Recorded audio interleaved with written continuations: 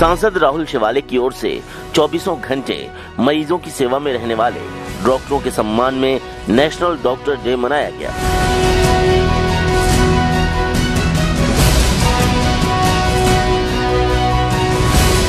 जिसमें Padmashri doctor Tatyarao Lahane, BMC health committee chairman Amay Ghole और BS समिति के चेयरमैन अनिल पाटनकर नगर सेविका आशा मराठे सहित लगभग 200 डॉक्टर पहुँचे। इस दौरान डॉक्टरों पर होने वाले हमले सहित मेडिकल क्षेत्र की जीडीपी बढ़ाने तथा अन्य कई विषयों पर चर्चा की गई। आज कल फ़र्स्ट जुलाई और फ़र्स्ट जुलाई को पूरे देश में नेशनल डॉक्टर डे मनाया जाता है और उस अवसर पर साउथ सेंट्रल कॉन्स्टिट्यूंसी के सभी डॉक्टर को हम लोग ने इनवाइट किया था। कलकत्ता का जो इंसिडेंस हुआ था तो डॉक्टर में एक अलग माहौल था। तो वो डॉक्टर में अभी एक मैसेज देना था कि पूरी as a member of parliament मैं उनके साथ हूँ और सभी पब्लिक रिप्रेजेंटेटिव उनके साथ रहेंगे।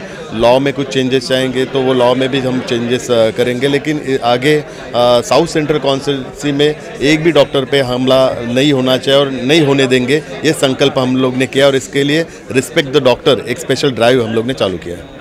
ने बहुत ही डॉक्टर लहानी जी ने बहुत ही बड़ी बात की कि जितने भी ऑल ओवर वर्ल्ड में जितने भी विकसित देश है, विकसित देश है, उनका जीडीपी देखा जाएगा तो जैसे उन्होंने यूएस का एग्जांपल बताया 40 से 50 टका जीडीपी हेल्थ केयर सिस्टम में और इंडिया का जीडीपी 1.25 हेल्थ केयर पे तो वो रेशियो की वजह से इंडिया के हेल्थ केयर सिस्टम तो वीक होती जा रहे हैं। तो जीडीपी अगर बताएँगे तो इंडिया के हेल्थ केयर सिस्टम अच्छी हो जाएगी। तो एक अच्छा सुझाव उन्होंने दिया है। पार्लियामेंट सेशन है बजट सेशन है, उसमें उनका प्रस्ताव हम रखेंगे।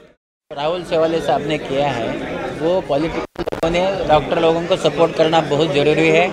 आज जो उन्होंने किया है, उनके लिए मैं उनका बहुत ही आभारी हूँ और जो भी आज डॉक्टर को हल्ला गुल्ला हो रहा है, वो होना नहीं चाहिए। उसके लिए रूल है, लॉ है, वो लॉ के इससे वो जा सकते हैं। जो कंज्यूमर में जा सकते हैं, पुलिस में जा सकते हैं, लेकिन उन्होंने लॉ हाथ में नहीं लेना चाहिए और मुझे लगता है कि डॉक्टर को रिस्पेक्ट करना चाहिए। हर डॉक्टर जो है पेशेंट को अच्छा करने के लिए, मरीज़ को अच्छा करने के लिए काम करते रहता है और डॉक्टर सेवा देने का काम करता है। उसको सेवा करने के लिए देना चाहिए। मुझे ऐसा लगता है कि समाज ने यह समझने की बहुत ज़रूरत है। मुझे ऐसा लगता है कि आज क्या हो गया है कि अपने पास पॉपुलेशन बहुत बढ़ गया है, उसके बाद भी लोगों को अभी प्राइवेट में लिए अगर आपको पता है कि ट्रीटमेंट बहुत महँगी हो गई है। और इसीलिए अगर सरकार जीडीपी बढ़ाते हैं तो मुझे लगता है कि जो गरीब लोग हैं, उनके लिए हेल्थ का हेल्थ बहुत सस्ता हो जाएगी या फ्री हो जाएँगी। इसलिए भारत के बजट में जीडीपी बढ़ाना ज़रूरी है। सी न्यूज़ के लिए मुंबई से राज पांडे की रिपोर्ट।